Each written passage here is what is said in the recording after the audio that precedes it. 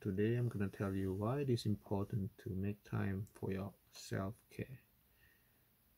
Now, you need to be comfortable with yourself. You need to love yourself first. From inner self, it, that's how you project it to the outside world. If you don't love yourself, you're not gonna go far.